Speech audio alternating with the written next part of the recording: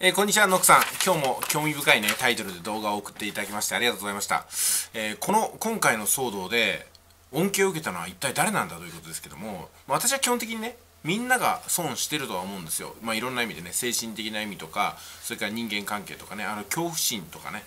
警戒とか、あそういうので割を食ってるのはみんな割を食ってるんだろうなと思うんですよ。でも、その中でも、世の中がね騒がしければ騒がしいほど世の中の多くの人が不安で防御体制に入れば入るほど、うん、やっぱりね免れる人もいるんですよ。罪を免れるとまで言いませんけども面倒な問題から追及を免れる人もいると思うんですよ。まあそういう意味で言うとノックさんが言われてたような、まあ、安倍総理とかね、えー、まあ面倒くさいことがいろいろ起きてもうねえー、罪だったのに時間稼ぎをしていろいろああでもないこうでもないって答弁してるうちにまあ、あの黒川検事総長のことも審議するとかそれから森友問題のね全般的なことも再燃してきたのにまた消えるみたいなね。で赤木さんのあの自殺の件ですよね。こちらの方も今なかなかね話題に上らなくなってきてもうどこを見ても例の感染症のことばかりが出ていますよね。でノックさん言われたように朝インタビュー受けた映像が昼も使われて夜も使われてみたいな感じでとにかくねあの放送時間を埋めてるだけそして同じネタをリピートしてるだけっていうふうに私は見えるんですよ。でそんな番組ですから CM の方私はまあアフィリエイトをしてましたんで CM の方にいつもね意識が向くんですよ。そうなると CM で当然ですけども航空会社とか宿泊とかねえー、JR とかこうやって消えていくんですよね。飲食店もあんまり出てこないということで、うん、本当にこう広告ってのはね通販ができるものとかに似通ってくるのとあと番宣が圧倒的に多いですね。番宣とかが。今日19時から池上さんの番組がありますみたいな番宣とか深夜ドラゴン桜の再放送ですとかね、まあ、そういうのばっかりで埋まってるんですよ。ただいっそね放送しなくてもいいんですけどもね。うん。まあそんなことがあってあの報道もかなりねえー、まあ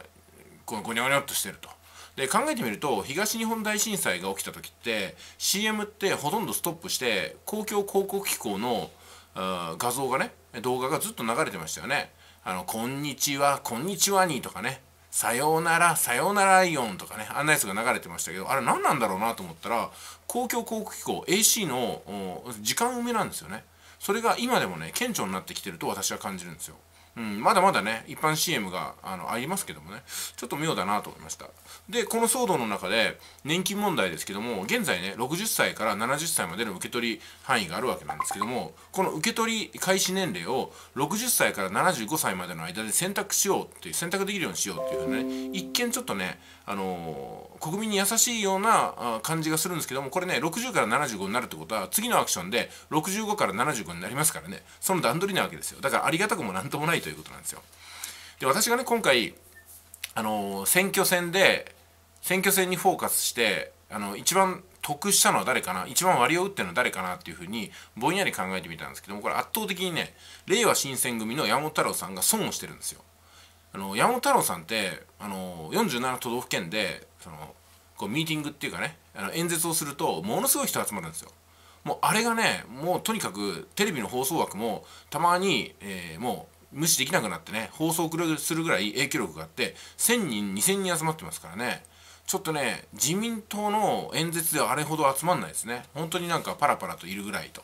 で中にはね「安倍やめろ安倍やめろ」みたいなのも集まっちゃうんで結構ねあのああいう演説ってのは苦しかったと思うんですよ。でも今回3密を避けるってことでね山本太郎さんああいう活動できなくなっちゃいましたしあとね立花隆さんも割と演説で N 国党ね、えー、人を集めてたりが影響力を持ってたんですけどもこのね、えー、今回の騒動でちょっとできなくなってるんですよね。うん、いやそう考えるとうん、なんか神風が吹いたと言えるような感じてる人はいるんではないかなと思うんですよ。特定の政党とか特定のね、えー、派閥の人っていうのは、うん。まあ、そういうふうに私は思いますよね、まあ、だからといってこれはね、あのー、もう誰かが意図的にやったもんではなくってこう怒っちゃったもんですしね。そこにちょっと手を加えてマスコミとか雑誌を先導してる感はちょっと否めないんですけどもまあけどもね私たち国民がこの感染症にもう興味を持ちすぎてるということそれから思い込んじゃってるってことはちょっとありますね。あのやりすぎぐらいやりすぎてると思います、うん、あのもうなんかここまでね経済止めて確実に死人が出るほどやんなくてもいいのかなと思うんですよ。ただこの病気ってのは誰がお亡くなりになるか分かりませんから誰が感染してねお亡くなりになるか分からないと怖いですよ。怖いんですけども経済が止まるとほとんどの人が確実にいろんな意味で死んでいくんですよ。例えば今自粛してますけども外出しなかったらねストレスで家の中の人となんか争いが起きちゃうみたいなことも起きるわけですよね。じゃあこれって生きてるって言えるのかなと思うんですよ。うん、家族同士で憎しみ合ってストレスをぶつけ合うみたいなのが本当にこれ感染症には打ち勝てたけども人間対人間の関係においては殺伐としていてねあのもう冷え切ってしまって愛情がなくなってしまった。その愛情が抜けた人生っていうのは人生なのかなと思っちゃうんですよ。で今日ねすごくいい、あのー、番組を見ました。これが最後になりますけどもすいません。動画の最後でまとめるとね。あのトヨタイムズっていうね香川照之さんとそれがトヨタの社長があのまあ、定期的にね YouTube で対談してるそういうふうなね動画があるんで私好きで見てたんですけども今回はねあの遠隔で香川照之さんが一人でトヨタ社長と遠隔でやっぱりねあのお話してたんですよ。で何がいい話かっていうとトヨタの社長がねこう言うんですよ。移動する楽しみに多くの方が気づいたんじゃないかなと。そして今回のことが収束したらやっぱりトヨタはね移動する楽しみを皆さんにやっぱ伝えていきたいと。こういうふうな趣旨のこと言われてたんですよ。そうだなそういえば私たちは移動が今ね罪みたいになっちゃってるんですよ。先日江ノ島に多くの方があの渋滞を作ってね移動したっていうのがなんか叩かれてましたけどもでもやっぱりねあのある一定のレベルでは我慢しなくちゃいけない時期だと思うんですよ。でもやっぱりね人が人らしく生きていくっていうのはあそこ行ってみようここ行ってみようっていうところに行ってみたりとかねこの人に会いたいあの人を抱きしめたいってものがちゃんとできることだと思うんですよ。今はその全てがねタブーになってしまってるっていうところでこれね人間としての、うん、生命活動は生物としてはやっているけども魂の通った人間としての活動がねこのままだったらそれこそ死んでしまうんじゃないかなっていう恐怖がありますよね。そういう意味では多くの方が全ての方が割を食ってるんじゃないかなというふうに感じています。一刻も早くねこの感染症との戦いに打ち勝って打ち勝ってですね戦いですから死者は出ます。犠牲者は出ます。